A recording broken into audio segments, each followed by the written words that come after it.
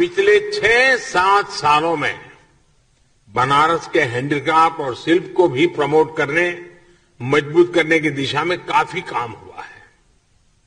इससे बनारसी सिल्क और बनारसी शिल्प को फिर से नई पहचान मिल रही है। यहाँ व्यापारिक गतिविधियाँ भी बढ़ रही है। रुद्राक्ष इन गतिविधियों को भी बढ़ाने में मदद करेगा। इस इंफ्रास्ट्रक्चर का कई तरह से बिज़नेस एक्टिविटीज़ में इस्तेमाल किया जा सकता है।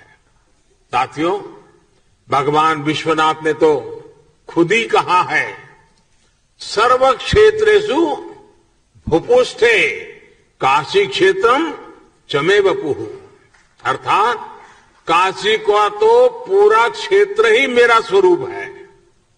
काशी तो साक्षात शिव ही है।